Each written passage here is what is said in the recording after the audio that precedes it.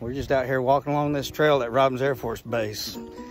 sure we'll probably see some things up here ahead. And if we do, we'll get back and uh, I'll share that with you. Good to talk to y'all. God bless. All right, we're back. We just got finished walking about 15 miles on some steep terrain. And as you can tell, we're this terrain's more level and a lot more shaded. Uh, if I see anything interesting along the way or my beautiful wife right here who's been along with me for the way sees anything, we'll let you know. Just found something interesting. We are walking along this trail and there's a sign here.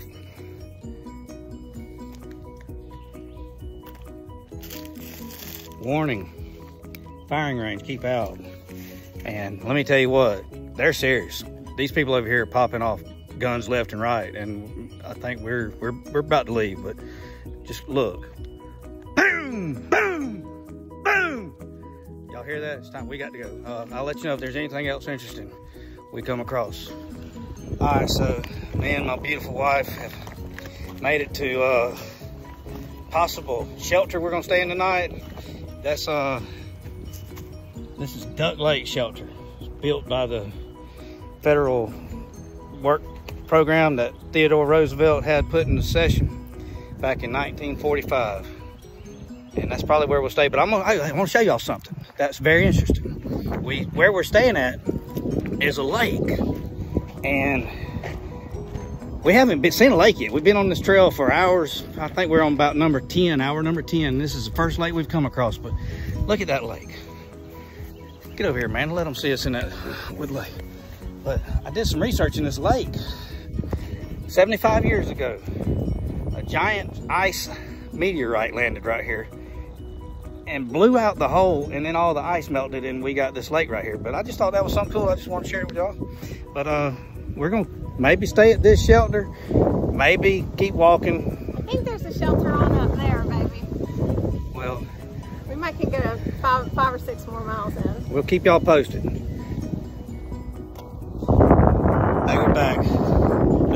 How huge this lake is.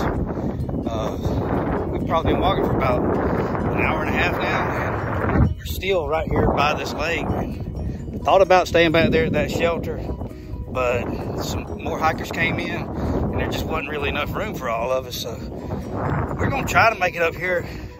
There's a shelter up ahead we're gonna try and get to. If not, I'm calling ahead. Maybe there's a hostel. If we can make it to the road, we got a possible shuttle. Nice man named Jeremy.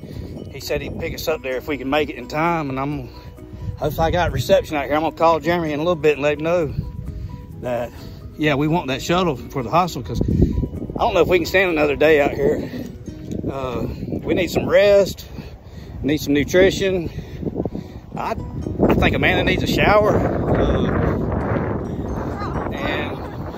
but we're just gonna keep hiking. And I'm telling you right now, thought I was in shape, but we're like mile 27 right now.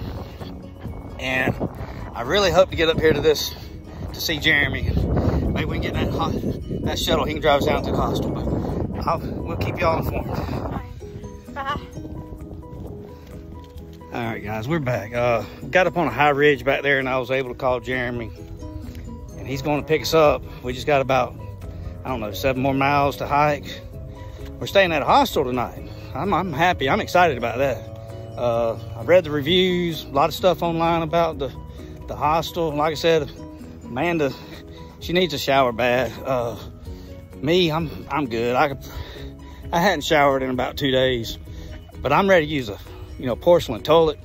You know, this stuff out here, I ain't real used to burying my poop, so I am looking forward to staying at this hostel. It's called the Ignaco Inn, and uh, it's a really nice hostel from what I understand. We'll just, hopefully, hopefully tomorrow we'll wake up there, I can, we'll be refreshed and ready to continue this, this Wartown trike.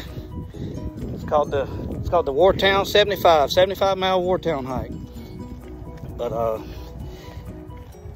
probably get back with y'all when we get up here to this uh, parking area Jeremy's gonna be at. But we still got seven miles. Maybe we'll see something interesting if we do along the way. We'll share that with y'all. Oh, there is one thing. Uh, you'll notice up ahead, water. Water's real hard to come by out here. I mean, they have these old relics of, uh, you see that? That's, that's a relic. There's no water in that. I wish there was. Me and Amanda, we used the last bit of our water, I don't know, five hours ago. And uh, I tell you what I have noticed. You see this right here? That's uh, trash can keep bears out. You know, bears are bad out here.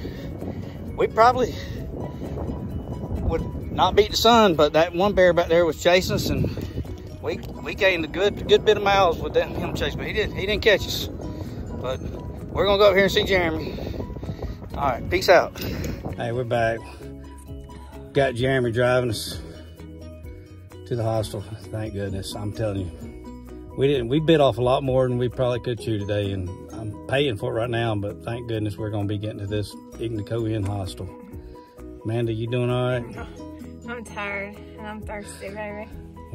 Jeremy's running all over kind of bumps, but uh, thank you. Thank you so much, Jeremy. And uh, people will will keep y'all updated. Uh, probably have another video coming out in a few days, uh, depending on, you know, cell phone reception. Uh, but uh, we're going to keep going. We're not getting up. We're not giving up. Peace, y'all. God bless. Hope everybody's doing well. Bye.